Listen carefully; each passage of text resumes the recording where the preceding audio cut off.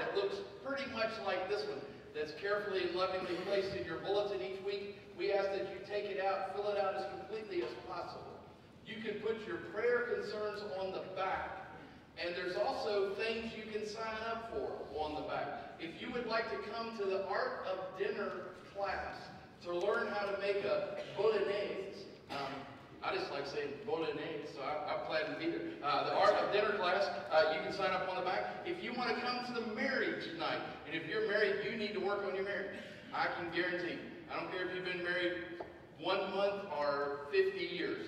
Everybody needs to work on their marriage, so sign up for that. And then if you want to help with Night to Shine, which is the uh, Tim Tebow's uh, sponsored um, prom for special needs kids, then you can come and help with that. We have to feed dinner to 600 people that night in two shifts. So if you want to sign up to help with the Night to Shine, be sure and check that box.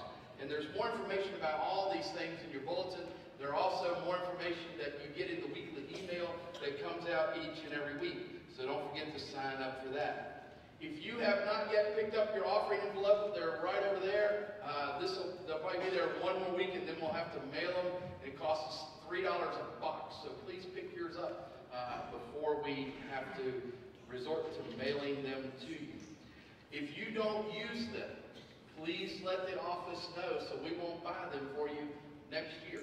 A lot of people give online and don't need them, uh, don't use them, so just let us know. Again, welcome to service this morning. We hope it will be a blessing to you as we share together. At this time, let us stand and rejoice as we sing together.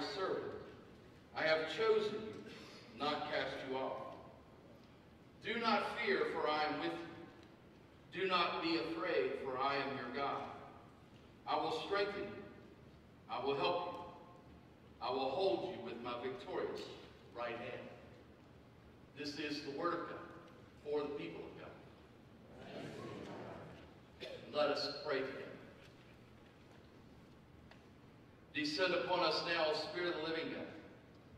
The words of my mouth, the meditations of our hearts may be acceptable in thy sight. O Lord, my rock and my redeemer. Amen. In 1983, President Ronald Reagan passed a bill into law for our nation to recognize a private citizen with a national holiday. It was a controversial move at the time. It was so controversial that it didn't take effect until 1986. In 1985, in June, I was appointed to my first church, actually two churches. And then in January of that year, we had the very first Martin Luther King Jr. celebration. And the Sunday before that, I spoke in church about how wonderful it was to have a day that celebrated the life and the ministry of a pastor. I remember taking a youth group to the Dr. King Center for Nonviolent Change in Atlanta, Georgia. And when, we, when you walk into that building, encased in glass is Dr. King's pulpit robe, like I wear at 11 o'clock. And the youth on the group said, what's this? And I said, well, it's his preaching gown. They said, he was a preacher? I said, they didn't teach you that in school? They said, no. They taught us that he was a radical mover of people. They never mentioned the word preacher. I said, oh. But on that Sunday at the church, I talked about how great it was to have a day to remember someone who had made us confront our own racism. Because everyone in this room is racist. Everybody is racist. Now, there are different degrees of racism, but everybody has to come to grips. And until we as a people can admit that we are racist, we will always be racist. And we are living in a world of white privilege. And if you don't think that you're privileged, I'll have a conversation with you over coffee and let you know about your privilege. Because sitting down and having a cup of coffee is privilege. We are privileged as a people. And I talked about this in that sermon, and as the people left that church that morning, as people always do, they went out the door and they said, Oh, that was a great sermon, preacher. I said, Thank you. Patted myself on the back. Thought it was great. The next year, 1987, about a week before I got ready to preach, that Sunday before Dr. King Day, I got a phone call from a lady in the church. She said, are you going to talk about Dr. King this year? I said, why? She said, well, if you are, nobody's coming. We took a vote. We're not coming to hear about him at all. I said, nah, I did that last year. I probably won't talk about him at all this year. She said, good, we'll see you Sunday. I said, all right, I hung up the phone. I was so lividly mad. And I sat for a while in my chair in my office wondering what to do. And I reached over on my bookshelf and there found a book called Strength to Love. It's a collection of sermons from the Dr. Martin Luther King Jr. that he preached at his church in Alabama. And I took one of those sermons, and this is the only time I've ever plagiarized a whole sermon. I read it word for word that next Sunday. Exactly as it appeared in the book that he wrote. I just photocopied it out. Still had the page numbers on it. To this day, they still say that was my best sermon ever. To this day, they don't know that I preached from that book and that they heard the words of Dr. King themselves. To this day, they thought I was that gifted in grace to use big words like he did.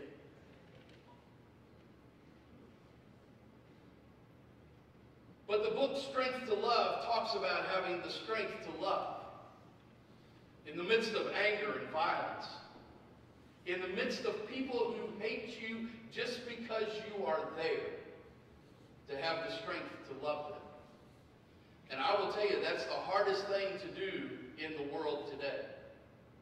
To love people who are different than you. It is the absolute hardest thing to love people that you disagree with.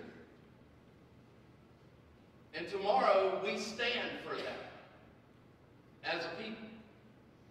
Not as we only remember Dr. King, but as we remember the sermons that he proclaimed based in the gospel of Jesus Christ in proclaiming unconditional love for all people. That's what he stood for. That's what he was about. That's what tomorrow is about. Is loving all people. And I tell you, it's hard in our world today because the issue of racism has grown again. In our society, people are more vocally racist than at many times in our history. And it doesn't seem like since 1960s till today that we've made a lot of progress in that area. And we need to be in prayer about it. And we need to learn to love people regardless of the color of their skin, of their race, their creed, their nationality of birth. But we need to look at people as people. When Pastor Jay's song was appointed to this church as a pastor a few years ago, families left the church because they didn't want to listen to him because they said, you just can't understand him. But I think the roots were deeper than just a lack of understanding. It's hard in the world today. I know it's hard. Tomorrow there's going to be a rally in Richmond. Those that stand for the Second Amendment are going to go and protest. They have that right. That's a great thing, yes. And there's going to be people there who are going to stand against them because they think that having guns is not a great thing. And my prayer is that both sides have the strength to love one another and to listen to one another and to be concerned for one another. It's kind of like in our society today. Do y'all notice that there's an election and there's some people that are Democrats and there's some people that are Republicans and it's gotten to the point where you really just can't go on Facebook anymore. Because the sheer anger and stuff that is said about one group or another. There are people that are saying things about Democrats that are so vile. And it hurts because my dad was a staunch Democrat. He was a Democrat his whole life, voted Democratic in every election. And every time I read one of those posts that says those Democrats are awful people, I think these people never met my dad, obviously. But the same is true because there's people who are saying Republicans are all the problem of the world. My mom was a staunch Republican and voted Republican in every election that was held. My mom and dad always went to cancel each other out because they didn't want one or the other to win. But every time somebody says bad about Republicans, they're talking about my mama, and nobody talks about my mama that way. It's just not right. We need to learn to love one another. Republicans and Democrats alike need to be able to sit down in a room and share with one another in conversations that lead to solutions to problems instead of pointing fingers across aisles that are imaginarily drawn that separate and divide us. We need to have the strength to love one another. The United Methodist Church is not doing any better.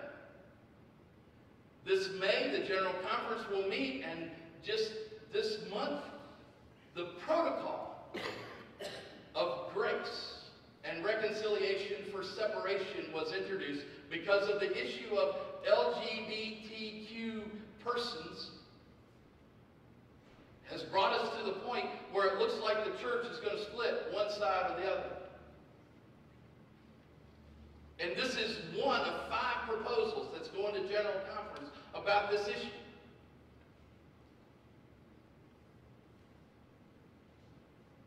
And it will be hotly debated.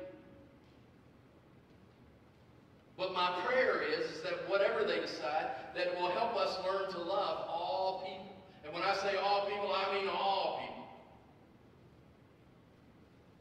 Because that's what we're called to do. We need to have the strength to love.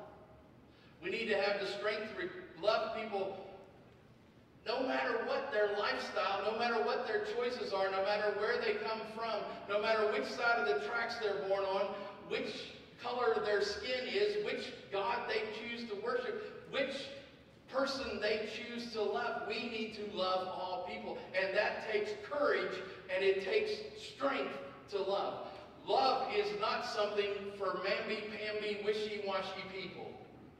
Love is hard and it takes sacrifice and it takes love and compassion for all people.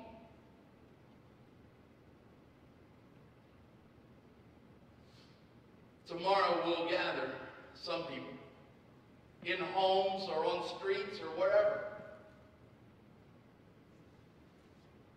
We'll remember Dr. King. He had a dream that he proclaimed from the steps of the Lincoln Memorial one year. It said that he hoped we would get to a day where people are judged not by the color of their skin, but by the content of their character. And I hope that one day we'll get there, but we're not there yet. He taught us that hate can never drive out hate. Only love can drive out hate. And to have the courage to be people of love takes a lot, I know. Because in the world today, people want you to pick a side. They want you to say, this is the right, that's the wrong, and this is it, and this is it. And those people, them, they, if you've ever used any of those words, it shows that you have hate in your heart. And you cannot claim the name of Jesus with hate in your heart. You must drive out the hate, and it takes strength to do that in your own life, and it takes strength to do that in our society, in our state, in our nation, in our world. It takes strength and courage and faith in God to drive out hate. We must be strong in love. So I don't know what you're going to do tomorrow. Many of you will have the day off. Church offices are closed. Don't come back. It's a preacher holiday, I'm telling you. The only one named after a preacher. But I hope that it's not a day that you just lay at home with your feet up. But go and make a difference. Do something that changes the world. Tomorrow at some point, I'm going to walk across the bridge downtown. Take my grandkids to see the statue of Dr. King. They won't understand why. They're seven six years old. But maybe one day they'll remember Gramps took me across the bridge to see Dr. King. Maybe they'll grow up in a different world that I am. And maybe they can leave for their grandkids a better world than I am. But let me tell you this. I've read the protocol of grace and reconciliation through separation, and I, I have things about it that concern me and things that I think are all right. But I will proclaim before you this. I was raised Methodist. In 1968, I was confirmed as a United Methodist. In 1988, I was ordained as a United Methodist, and I will retire United Methodist. And I will live out my time as a United Methodist because I believe that's what God called me to do. And I don't know what the future of our church is, but I hope that we have the strength to tell people everywhere that we are called to love one another in the grace that God showed us in and through the life, the death, the resurrection of his Son and our Savior, Jesus Christ.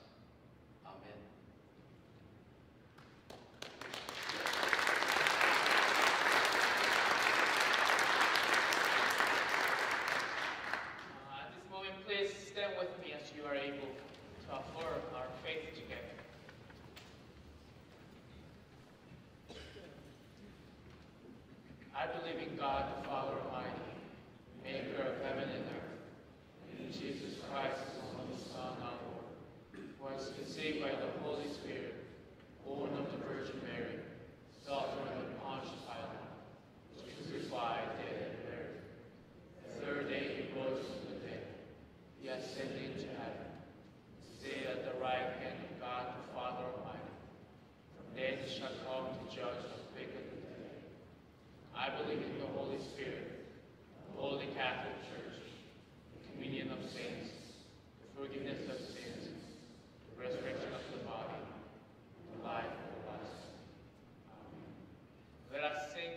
together changed my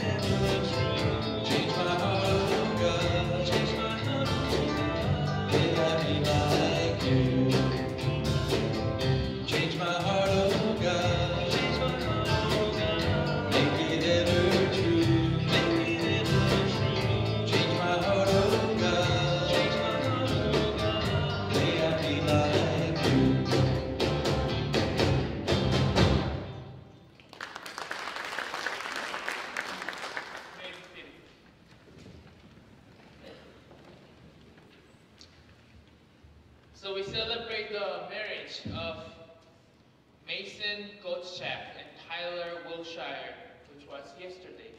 And let us keep uh, the new couple in our prayer as they start a new journey together in God.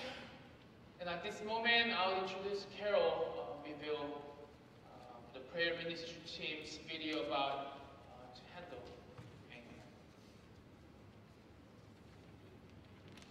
Good morning, friends.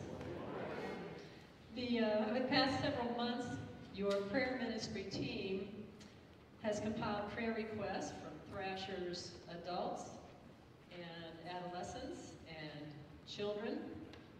And based on those themes and requests, which are, which are found in your bulletin inserts, and in collaboration with a local Emmy Award-winning photojournalist, by the name of Trevor Fair, a short video was made for our church. We're going to show that to you.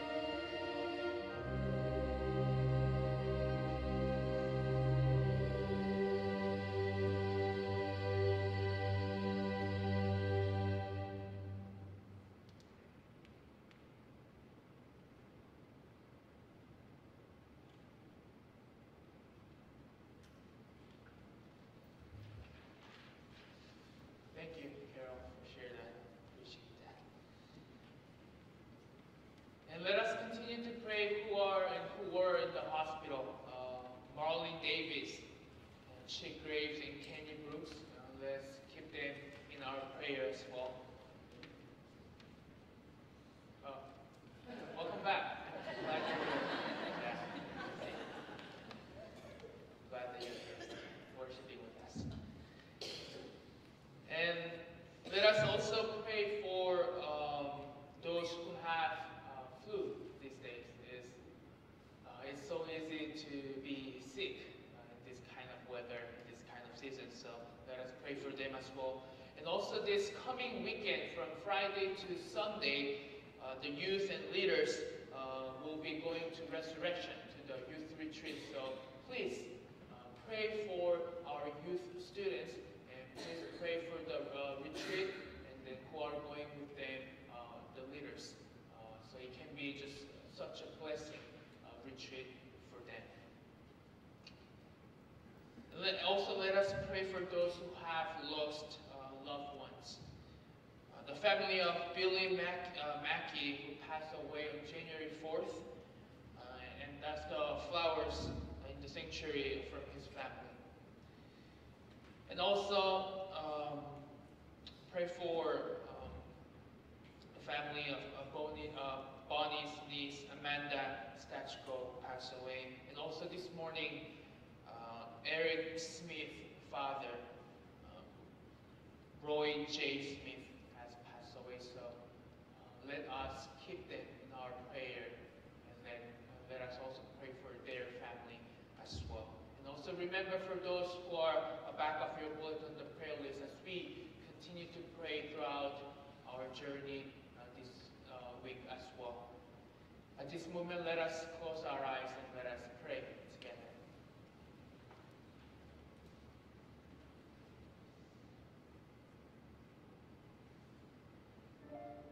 Dear God, we pray you today in this kind of season, in this kind of moment, in this kind of time. There's nothing that we can do but pray you. Hear us this morning as we ask your help, as we ask your protection, your guidance, your power, your wisdom. Lord, but first of all, we want to give you thanks for sending us, your Son Jesus Christ, as the light of the world. So we could receive salvation, we could be saved. So thank you so much. And let us also be the light of the world and the salt of the world. Let us continue to face the world. Let us continue to fight against evil with your power, with your wisdom, with the faith that you give us. Because we confess that we cannot do with our own strength, with our own knowledge. That's why we are asking your help in this morning. Yes, Lord, there are natural diseases in the world. There's so much conflict, so many issues that give us anger. But Lord, there's nothing that we can do but just pray you. Because we cannot control that, but only you can control. So we pray that you change the world with your way, in your time, but through each and every one of us. So use us as you have planned, and as you have planned every one of us in your plan. And Lord, let us have courage and let us have faith to march and to continue our journey in this world as your sons and daughters, proclaiming the word and sharing your love with others. As we love each other and support each other and forgive each other. So, Lord, we ask you to control this world. And also, we give you our control of our lives. Let our ego die and Jesus govern our lives. So, Lord, hear us this morning. We ask your help. We ask your pray, prayer. We ask your overprotection over our lives and your guidance in our faith journey. We ask your power. We ask your wisdom. And give us that faith to bravely live in this world, representing you and representing your kingdom. So, Lord, we, we pray you this morning. We worship you. We thank you. We praise you. And we pray in your holy, precious name. Amen. At this moment, let us continue to pray the Lord's Prayer that Jesus taught us. Our Father, who art in heaven, hallowed be thy name. Thy kingdom come, will be done, on earth as it is in heaven. Give us this day our daily bread. Forgive us our trespasses, as we forgive those who trespasses against us. Lead us not into temptation. Deliver us from evil. Thine is the kingdom, power, and glory forever. Amen. At this moment, as the ashes come, let us offer God.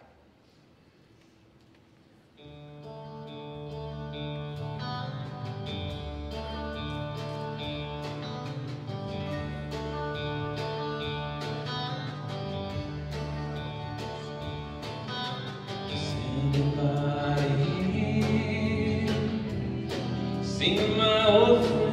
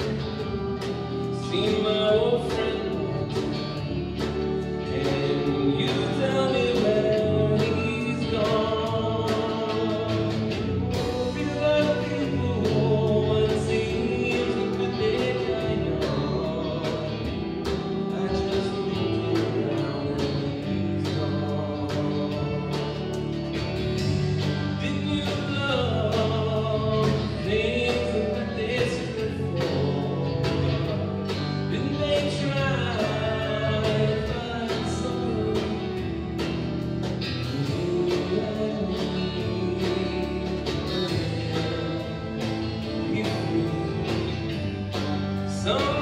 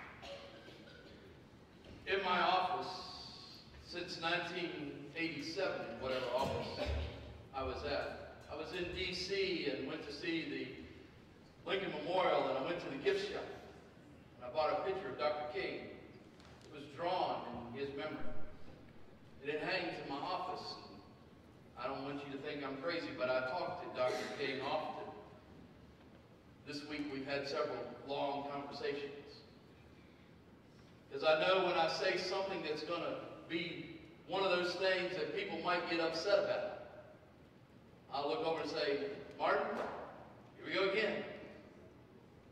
He'll remind me it takes strength to love. The invitation for you today is to find strength to love people. People different than you are, people other than you are, people that you don't even like being in the same room with. Find, and I know some people are just hard to love. Find your strength to love. That's your invitation today. And if today is the day that you want to become part of this United Methodist Church, by the profession of your faith in Jesus Christ and by saying that you'll support the church with your prayers, your presence, your gifts, your service, and your witness, then come and we're going to stay in the 1960s. It's been a great 60s day. It's good. It's, uh, we're to we're to sing together our song, "Put a Little Love in Your Heart." Let's stand and sing together.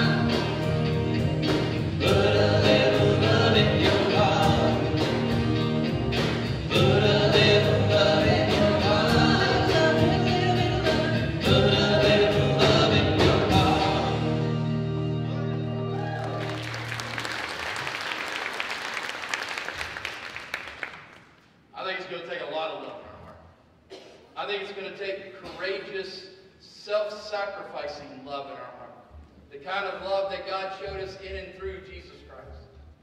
Go from this place with strength to love all. And let us pray together. And now may the grace, mercy, and peace of God the Father, Son, and Holy Spirit rest and abide with each of us, both now and forever. Amen.